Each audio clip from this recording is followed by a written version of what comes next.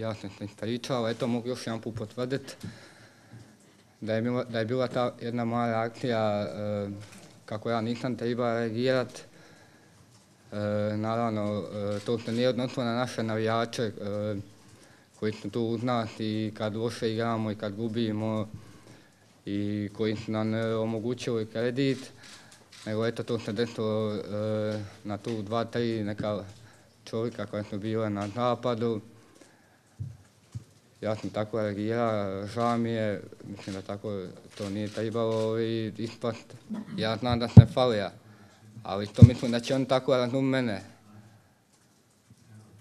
Sve znaju, znaju da se to nije odnosilo na one navijače koji su, pravi navijači koji su uz nas. Mislim, uvijek će biti ovako ovi, što je se mene odeslo na napadu.